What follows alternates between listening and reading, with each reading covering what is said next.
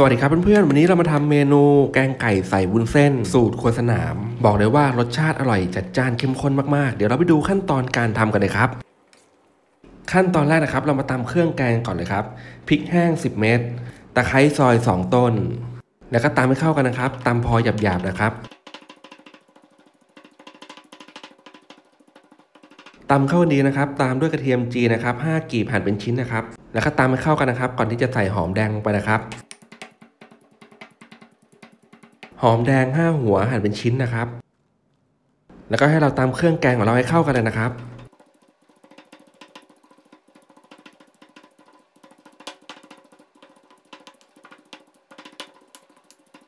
เมื่อเราตำเข้ากันดีนะครับ เดี๋ยวเราไปทำขั้นตอนการทำแกงไก่ใส่วุ้นเส้นกันเลยครับ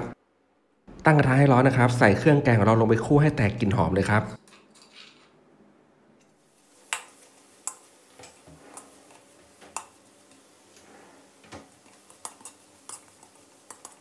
ครื่องแกงของเราแตกกลิ่นหอมนะครับ ตามด้วยน่องไก่ติดสะโพกนะครับ สับเป็นชิ้นนะครับ2น่อง น้ำหนักอยู่ที่ 730 กรัมนะครับ ใส่ลงไปผัดให้สุกเลยครับ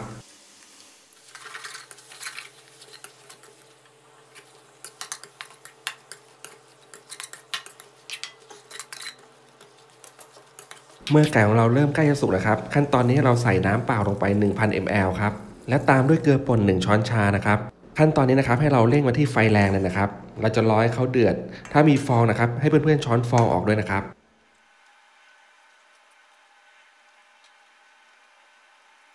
เมื่อเราช้อนฟองออกหมดแล้วนะครับ ขั้นตอนนี้ให้เราหลีมาที่ไฟกลางเลยครับและให้เราต้มต่ออีก 10 นาทีนะครับเพื่อน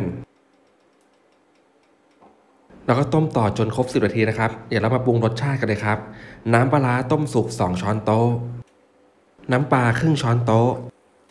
ผงปรุงรส 1 ช้อนชา และตามด้วยวุ้นเส้นสด 100 กรัมนะครับ ใส่ลงไปเลยครับ แล้วก็ให้เราคนให้เข้ากันเล็กน้อยนะครับ ก่อนที่จะใส่ผักลงไปนะครับ คนเข้ากันดีนะครับ ตามด้วยพริกจินดาแดงซอย 5 เม็ด ใบมะกรูด 10 ใบ ใบแมงลัก 2กำมือ ต้นหอมหั่นท่อน 3 ต้น แล้วก็คนให้เข้ากันนะครับ กดกดผักของเราให้จมน้ำนะครับ พอผักของเราแตกกลิ่นหอมก็ปิดแก๊สจัดเสิร์ฟได้เลยครับเพื่อนๆ